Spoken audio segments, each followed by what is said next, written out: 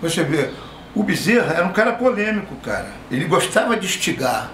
Ele gostava de. de... Primeiro, ó, ele mesmo fala, 21, 21 vezes para averiguação, nada consta. O canadura ficava injuriado quando era obrigado a tirar ele da prisão. Então, depois ele começou a satirizar. Ele mesmo começou a fazer, tá entendendo? Eu até falei, Bezerra, isso aí tá pesado, isso aí tá. Que nada, tem que botar assim mesmo, tem que fazer não sei o que, não sei o que, não sei o que, então é contigo mesmo. Tá, tá entendendo? Então, e tem muitos polícia, tem muitos polícia que não, que não, que não engolia ele. Engolia. Engolia, rapaz, simplesmente engolia. Mas ele é o Bezerra da Silva, cantor Bezerra da Silva, é o é partideiro de indigesto da pesada. Tá entendendo? E ele não estava nem aí para a situação. Ele, tá entendendo? Conheço vários polícias que não gostavam dele.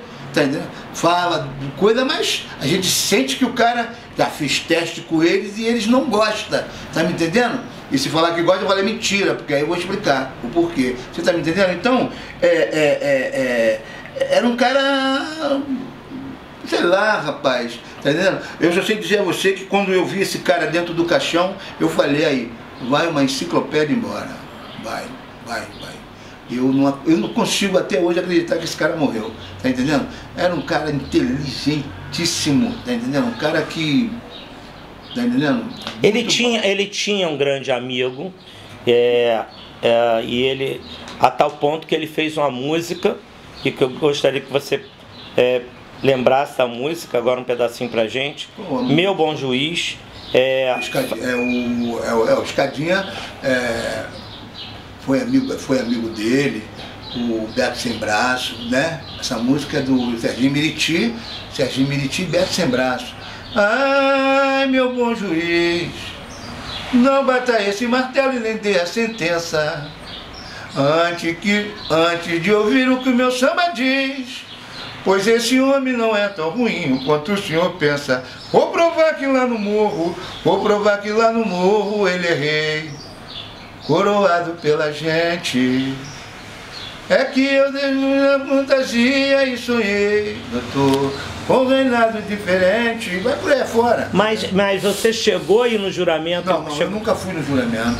Daí, daí, eu tinha vontade de ir, tá entendendo? Mas nunca fui no juramento. Eu nunca fui no juramento. Eu sou cria do Dona Marta, né?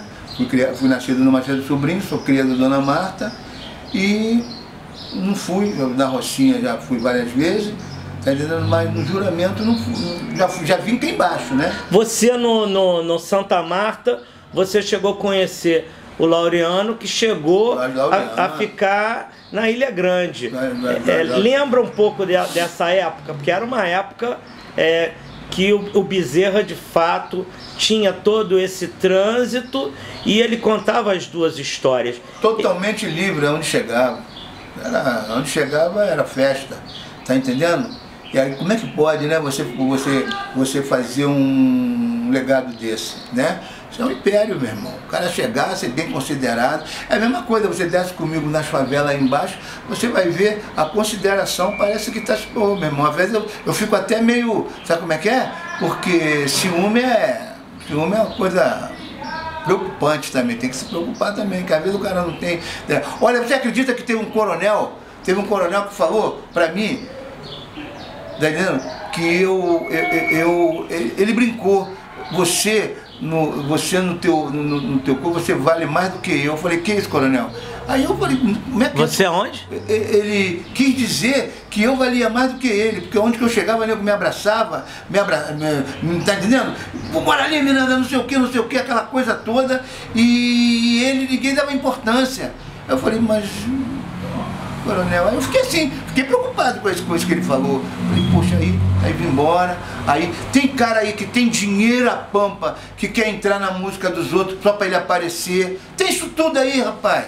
Tem, essa, tem isso tudo aí. E isso aí ninguém fala. A verdade, a verdade ninguém fala. Tá entendendo? Essa época de samba enredo aí, então, pô, tu tem que ver, rapaz. Você tem que ver. Tem que ir na escola de samba para tu ver. Tá entendendo? Quanto pau mandado lá, mas tem grana Tá entendendo? Pode bancar lá dois, quatro, cinco, seis ônibus, aí o cara é o cara, né, bicho? Aí, aí vai.